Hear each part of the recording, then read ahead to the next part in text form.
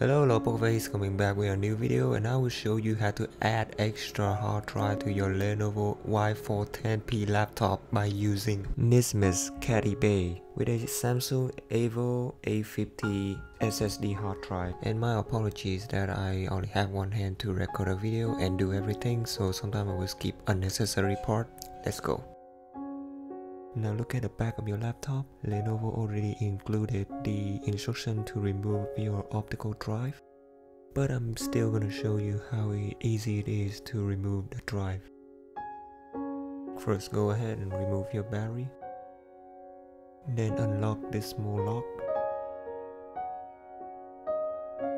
Now hold this lock while slide your drive out. Don't be afraid to use some force if you feel it hard to pull out.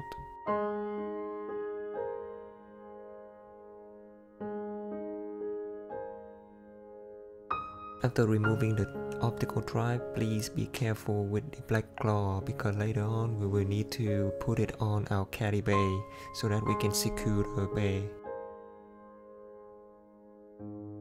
Now open the caddy bay's Nimitz. Um, we can see that we have a bay and one screwdriver. Ignore that screw. We will use it later, not now.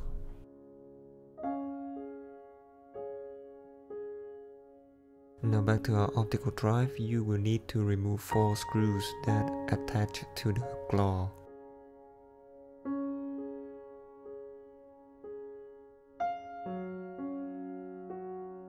So this is what it looked like after you finish removing.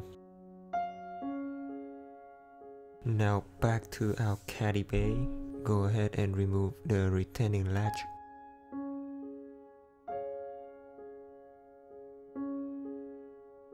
Then go ahead and remove the four screws on both sides of the bay.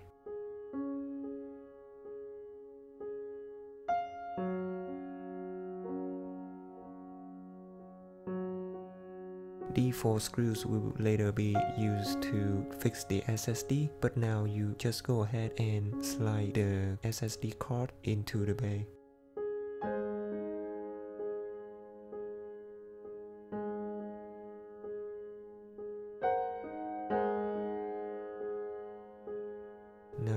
And put your retaining latch back to your bay.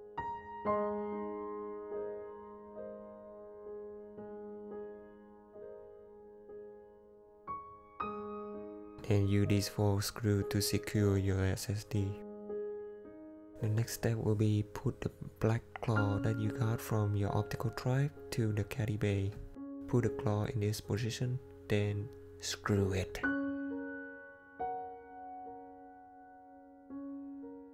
So there you have it, it's nice and steady. All you have to do is slide back to your laptop.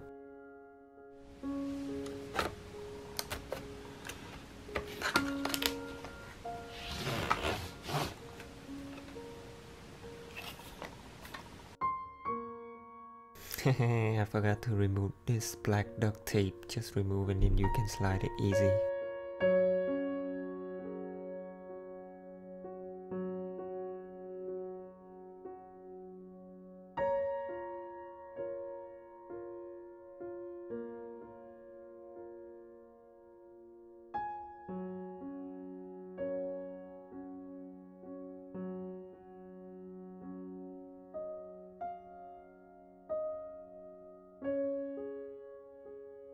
So we see that the LED light is on, which means we have power going to the bay. But I cannot see the SSD drive appear on my computer. What's wrong? However, in Device Manager, I can still see my Samsung 850 is recognized by my computer. Let me show you how to fix.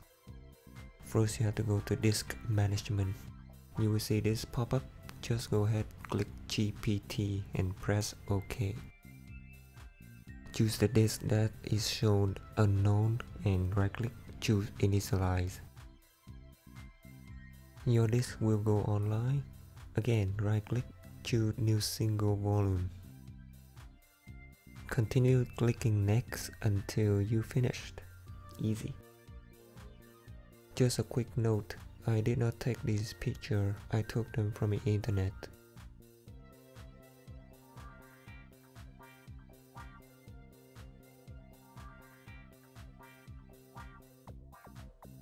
Now for the benchmark test, if the caddy bay is connected to the SAR port, we can expect a very high speed from this SSD.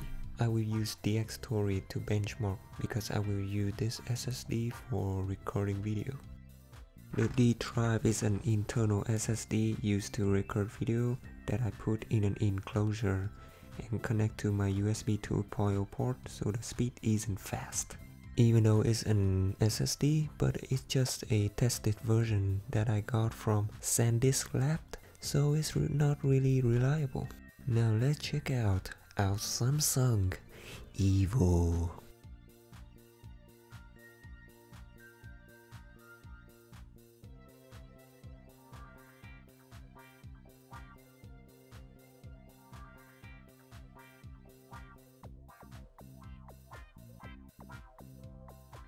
Now I will benchmark the drive using Crystal Disk Mark.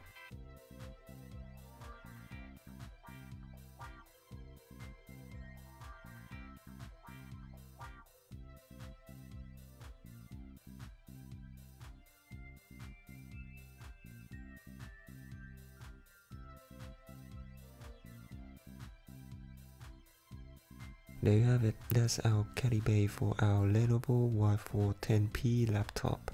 If you really need more capacity, I can suggest you buy a 7200 RPM hard drive or you can just buy an SSD if you plan to build a new PC, you can still pull it out and plug in your new computer. And I hope you enjoy my tutorial and I will see you in my next video. Bye bye.